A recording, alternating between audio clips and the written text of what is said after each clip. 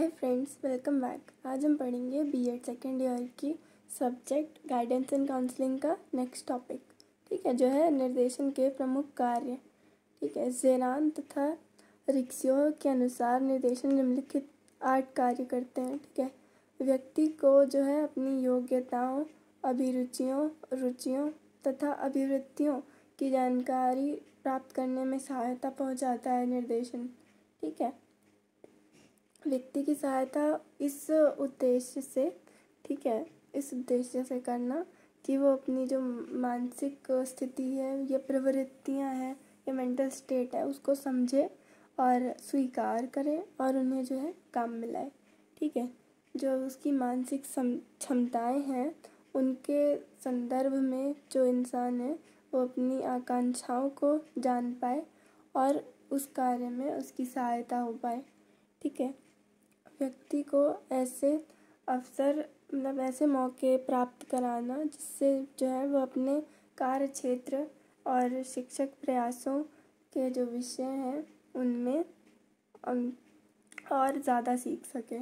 ठीक है? वांछित मूल्यों के विकास में व्यक्ति की सहायता हो पाए।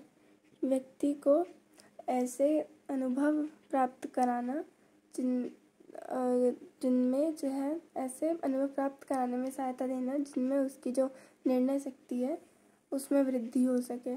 ठीक है? यानी कि वो बढ़ सके, उनमें विकास हो सके। ठीक है? व्यक्ति की इस प्रकार सहायता करनी चाहिए, जिससे कि वह अच्छा आदमी बन जाए जितनी उसमें क्षमता है। ठीक है? और व्यक्ति को ज़्यादा से ज़्यादा आत्मनिर्देशित बनने में सहायता देना, यानी कि अपने आप से वह अपना निर्देशन कर पाए। इतनी जो है सहायता प्राप्त कराना।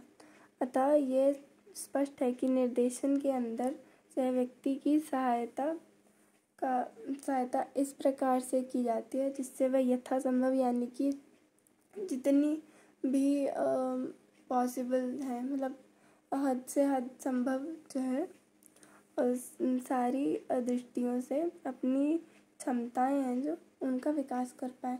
निर्देशन व्यक्ति में जो निहित संभावनाएँ होती हैं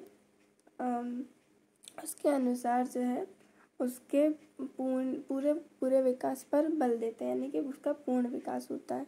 ठीक है, निर्देशन की प्रक्रिया का संबंध जो है वो जीवन से है। और जीवन में व्यक्ति के जो विकास होते हैं, वो औपचारिक भी होते हैं, यानी कि फॉर्मल और अनौपचारिक भी होते हैं, यानी कि इनफॉर्मल तो इस प्रकार से जो है, निर्देशन भी दो प्रकार का हो सकता है, औपचारिक अथवा अनौपचारिक। ठीक है? तो आज की वीडियो में बस इतना ही, और मिलते हैं आपसे नेक्स्ट वीडियो में। Thanks for watching